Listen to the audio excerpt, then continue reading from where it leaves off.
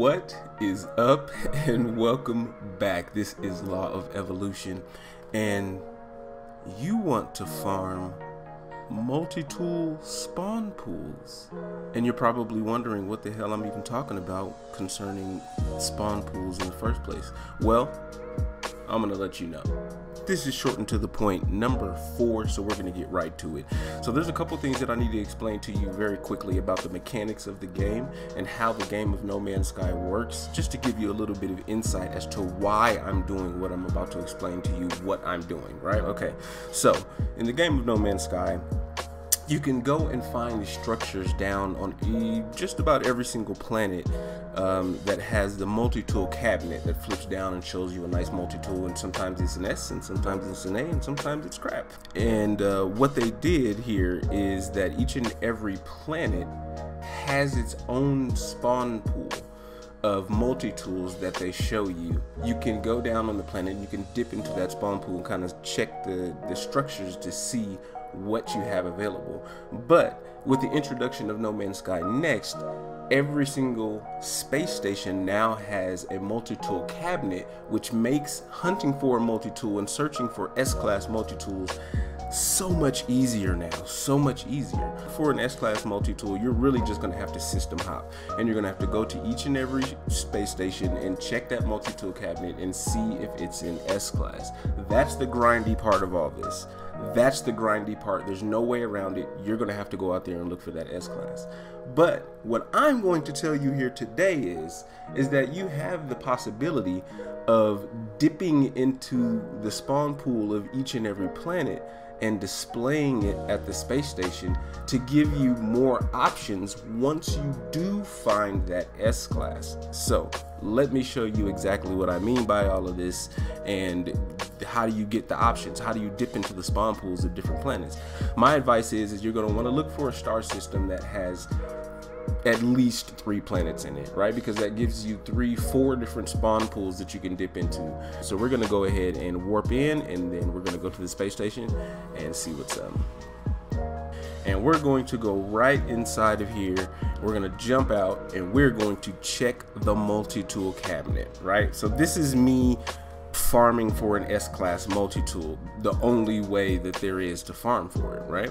So it's over here, right? It's on the right side is the right side. Yes. So we're gonna go over here, we're gonna check the multi-tool cabinet, and we're gonna see what we have, okay? So just for the sake of the video, um, let's just say that this B class multi-tool was an S. Let's just say for the sake of the argument, I found it. This is the S I want, um, oh my god, but I hate this multi-tool. This multi-tool looks really crappy. I don't like it. I want a different multi-tool, okay? But there's no way to cycle through multi-tools here. There's no way to choose. So, okay, I found it, right? Let's just say that this is an S. Oh my god, I found it. Let me go ahead and leave. I'm like, oh my god, but that multi-tool is crap. What do I do? Um, okay, so what we're gonna do is go down to a planet, right? Um, let's say planet A. We're gonna go down to planet A All right, and here I am coming in on a dead planet, it looks like. Um, it looks like it's a dead planet that won't have any structures. But that's what makes this entire process cool, is that even though, right, under normal circumstances, there's no structures on this planet, you wouldn't be able to find the multi-tool cabinet in that habitat structure on this planet. But using this process, you can dip into the multi-tool pool of this planet even though there's no structures here right? So that makes it possible to do that. So we are going to put down a beacon. So we're going to drop a beacon on this planet and I'm going to save right? So I'm going to create a manual save. That's what that is. Now I'm not just gonna hop in and out of my ship to save it. I'm going to drop a beacon and create a manual save on the planet right? And so what I'm gonna do is go ahead and reload that save that I just created. And this is the manual save as you can see right there and not the auto save. So I'm gonna reload that save. All right, and now I'm back right at the save point that I did at the beacon, okay? And we're gonna go back to the space station. Okay, I just reloaded my save and we're gonna go back to the space station. All right, and now we got a totally different multi-tool which has spawned at the location from the pool of, of planet A. Oh, this is better than the other one. I like it. It's a lot more sleek. You know, it's locked into Class B. No matter what you do with the save, it's locked in with Class B. Uh, I'm like, okay, I kind of like this, uh, but it's still not perfect. Still not perfect. I love that it's S class. Remember, I'm just, just just for the sake of argument, I love that this is an S class. But even though I cycled this to something different, I don't know. I'm still not exactly too happy. Let's go try a different spawn pool, right? We're good. So we're gonna go out, try totally different spawn pool. That's dope. I'm on planet B now, okay? Different world. And I'm gonna go ahead and I'm gonna drop that beacon again, save, manual save. I'm gonna go ahead and reload that manual save, right? The one I just created. All right, and now we're back. We're now here right at our beacon. Let's go ahead and pick that up. We just reloaded our save on planet B and we are going to head right back to the space station and just see if we can get lucky. Excuse me, excuse me, sir. Pardon me.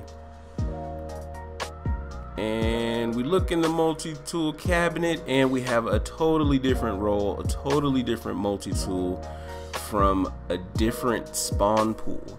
Once you have found your S-Class, you've done all the grinding, you actually have located it, you found your S-Class, even if it's an A and you really just like love the stats and the role that you got with that A, you're like, okay, I love this, um, but I hate the way it looks, you don't like what you see, you can use this process to cycle through the available pool of multi-tools of any given planet in all of these different systems in the all of these 18 quintillion systems that we have to work with right? And so just like i was saying before um, even the planets that don't have structures and under normal circumstances you wouldn't be able to to look on that planet for a multi-tool. You can use this process to still look at the available pool in those dead and, and uninhabited worlds right? So that is awesome. That is the process. That's short and to the point. But go out there, grind it out, find that S class, but use this to pick what you want. Do you want to see more stuff like this from me? Do you want to see more short to the point videos? Well, hey man, you have to hit that like button. Subscribe if you want to see more. Come back. No Man's Sky Next is booming. Much love, much love, guys. Thank you for checking it out. And I'll see you guys on the next one.